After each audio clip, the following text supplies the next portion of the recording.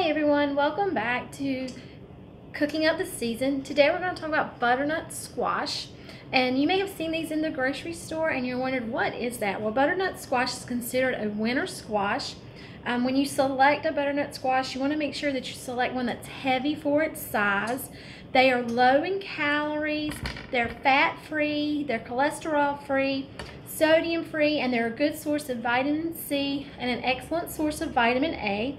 When you store your butternut squash, um, you can store it in a dark place for up to a month, but once you cut it, if you have any left over, it needs to be refrigerated, so you want to store that in the refrigerator. And today we're going to look at how to cut a butternut squash. We're to talk about peeling it, and also we're going to do a roasted vegetable uh, roasted butter. And for our recipe today, we are going to peel our butternut squash. Um, you can leave the peeling on, but for this one, it's going to want you to take the peeling off. So all you use is a vegetable peeler, and you'll just scrape down the peeling.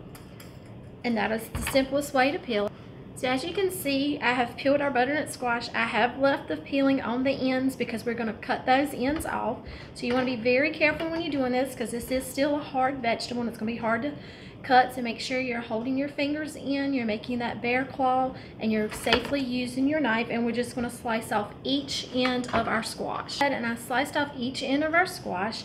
And then I went and cut the squash in half to make it easier to handle and that gave me a flat surface so I would be able to cut down the center of my squash and if you look at the center there's going to be seeds inside and we're going to need to scoop those out. So we're going to scoop out those seeds and those seeds you can even toast those like you would pumpkin seeds if you wanted and now we have scooped out our seeds from the inside of our butternut squash and this is the neck of our squash and we sliced it in uh, lengthwise. And now we're going to slice it up in small pieces and dices. So again remember your knife safety skills. So hold your hands like in a bear claw and rock, use your rocking motion slice through and then we're going to slice this lengthwise and then make small slices. So we have our squash all diced and cut up.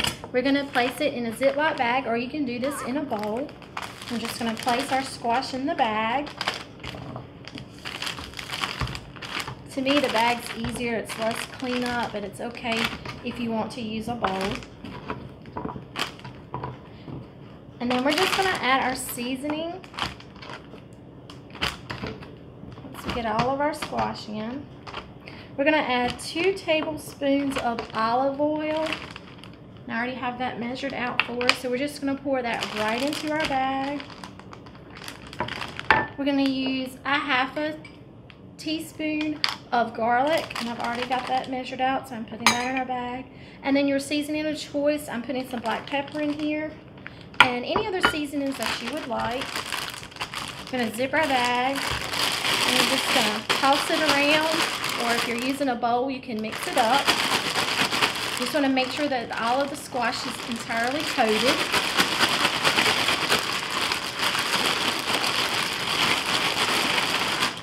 and you're going to spray a cookie sheet and then we're going to add our butternut squash to the cookie sheet. We're just going to layer it out and I'm just going to dump it right on the cookie sheet. And we're going to make sure it's not sitting on top of each other. And we're going to place it in a preheated oven at 400 degrees and we're going to bake, bake it for about 30 minutes. And here we have our roasted butternut squash. Stay tuned for our next episode of Cooking Up the Season.